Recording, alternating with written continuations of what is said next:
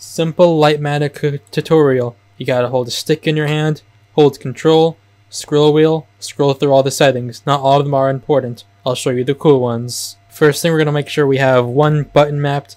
Go to M, M key, configuration menu, hotkeys, uh, right here, execute operation. Uh, I like J. J is a fun one. Now to make our selection, I'll select right here. I'll select this right here.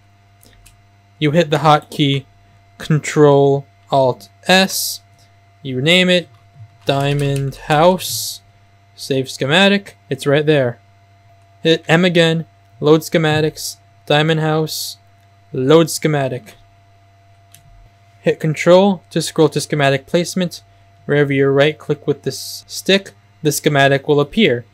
If you want to move it specifically, hit M plus P on your keyboard, go to configure. If you want, you could turn this off. That makes it lag less. You could turn it on.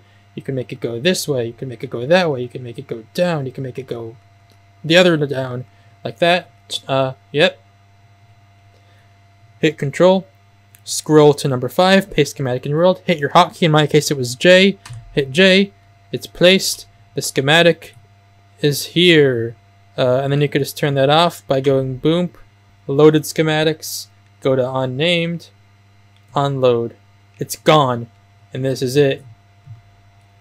So this was a very short tutorial. It was mainly for myself because I am stupid and I'm going to want to reference this. Um, goodbye now.